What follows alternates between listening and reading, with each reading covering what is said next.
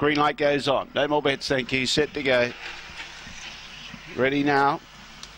Set to go away at this moment, outpaced by Dinah Queechy. Got across leads by a length. Cool Pick was out wide. Check Badly was oh so fast. Getting underneath those was Sterling Arrow. Then in turn behind those, Van Percy. At this moment was checked back the second last placing in Millie's Express at the tail. But on the buddy, Dinah Queechy, she's going strong. She's home into the front straight. Van Percy's making good ground into second, beaten three lengths. Then Cool Pick behind those oh so fast. At this moment, Millie's Express and Sterling Arrow at the tail end of the field.